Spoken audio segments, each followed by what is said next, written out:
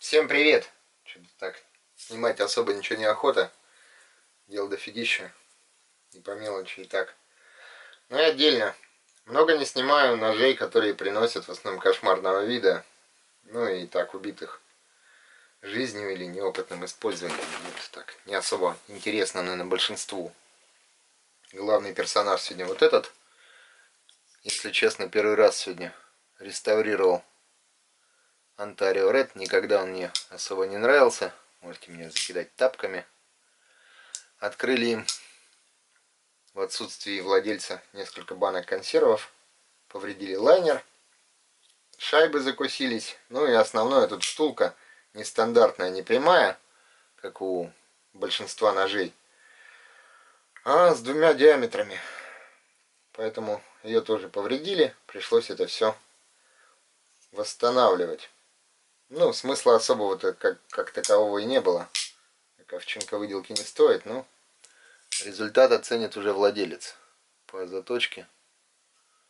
Ну, может кому пригодится. Оптимальный результат на этой железке получилось советским. Эльбором 7 микрон.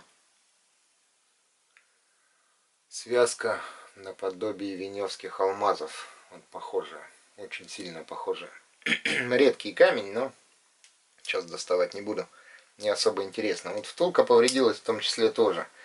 Закусилась шайба, соответственно перекос пошел. И такое ощущение, что лайнер, не лайнер, а она скоблила. Обо что понять невозможно было пока это все. Спустя полтора часа проб и ошибок не удалось выяснить. И отношение в целом к китайским ножам. Ну, вот Ганза в том числе. По Ганза ничего плохого сказать не могу. Железка нормальная. По механике, если это товарища моего ножик. Если чуть-чуть ослабить, все очень хорошо работает. Также на переточку приходил. По копиям. В данном случае китайская эндура. Приехал тут заказ на, скажем так, ножи покупались магазином, ну не совсем, может и магазином, но не, фа, не, не важно. Не бракованные, а именно как продают их. Клинки практически у всех кривые, то, что удалось восстановить. То есть, не знаю, будет видно, не видно. Постараюсь показать экземпляр уже света-то не хватает. Волны идут. То есть э, закалка производилась. Сама железяка закалена. Примерно все это гуляет, это не так актуально. Стоимость китайских версий в районе около 2000 рублей и оригинала в районе там четырех с половиной с доставкой 5 наверное смысла особого не имеет ну, это на мой взгляд. Имеет смысл, смысл наверное, все-таки чуть-чуть подождать и купить себе оригинал, если так хочется. Либо вариант уже, ну, если тут все по модельно отдельно. С оригиналом сравнивать не собираюсь. Все интересное, как говорится, каждому свое. Наверное, есть смысл приобретения таких подделок, копий как там, реплик, кому как пойдет. Если не жалко, называется, с собой в лес взять и отдать кому-нибудь на пользование, у нас такой момент тоже существует, и весит немного, можно зацепить, но цена, опять же, ну не стоит она того. Про качество изготовления. Для бутербродов пойдет, в принципе, да, и, ну, не до конца, конечно, вот этот загиб. А так... Так нормальные ножи в целом. Для большинства обычных задач по вскрытию консервов, коробок и всего прочего вполне подойдут. Хотел еще сказать что-то по поводу отдельно. Отдельно хотел по поводу чего-то сказать и... Так, по бритвам. Сумбурно немного шайбы. Да, шайбы пришлось менять.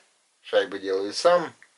листовая латунь, бронза, советские сплавы, которые по, по случаю достались. По реставрации, спрашивают, для чего. Пины посеребренные, из чего шайбы из серебра. Серебро в основном это контакты советские. Из них делаю шайбы. Сейчас, если найду готовые, покажу, как это выглядит. Пины посеребренная латунь. Соответственно, сами шайбы. Пины из контактов, также серебряных. Все это вручную, процесс долгий. Но это все, опять же, это в отдельных вариантах. Бритв часть довольно большую разобрали, поэтому в ближайшее время, не знаю, если завтра постараюсь снять так отдельно. Но еще не до конца. В смазках еще надо чуть-чуть поддовести. Выровнять кромки. На клинах особенно, потому что клины старые, особенно английские. Если их даже почистить сверху, они все равно имеют свойство неравномерно быть изношенными. Ну и так, тут несколько бритв. Это у нас тоже старый английский. Тейлор. Это надо будет еще от смазки убрать, почистить все это, довести. И, скорее всего, постараюсь завтра выложить. Не знаю, что-то последнее время и желания снимать ничего нет. Потому как народ у нас очень много одного и того же спрашивает. Такое ощущение, что ни у кого интернета нету, и вот как только он появился, все тебе вопросы сыпят. Причем одни и те же и глупые уже на них. Миллион раз отвечено уже, стандартно все написано. По ценам, ну по ценам сложно судить. Скажу так, и если не нравятся цены, ну ищите где дешевле. Продавцов много, хватает, я думаю, и на YouTube, и на форумах вариантов масса. Почему предоплата? Не высылая наложенным платежом. Ну, вот так хочу. Кого что-то не устраивает, опять же, повторюсь, ищите других продавцов. Были неприятные случаи, поэтому, как бы, тут вопрос доверия, гарантии. Многие спрашивают, какие гарантии. Гарантии в магазинах. В магазин идите, будут вам гарантии, стопроцентные товарные чеки, кассовые чеки. Здесь все, по сути, на честном слове на одном крыле, как говорится.